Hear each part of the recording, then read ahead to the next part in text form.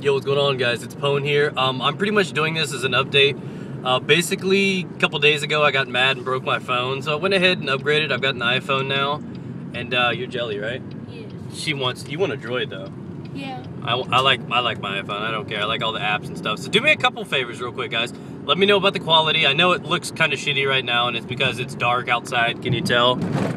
I know, right? Huh? Target. Target. Yeah, there's tar- Target.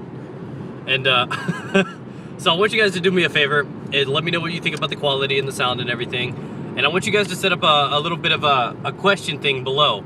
In the comments below, ask us any random question, me individually, something for Amanda, uh, both of us together as husband and wife. Anything you guys want to ask us, feel free to do it. I'll do. We'll do a question and answer video log here soon. Not necessarily with the iPhone, but I just wanted to set this up for you guys. And uh, anything else we want to add in there, honey? Oh yeah, this is this is what this is my evening right here. Don't know if you guys can read it. Yes, it says Justin Bieber, never say never. She's she's excited. So that's my evening. Yeah. How's yours? so so let me know what you guys think below. Get together some questions for us. They can be goofy, whatever you want to go ahead and do. Let me know about the quality of the video. And get back to me, guys. Leave it in the comments below.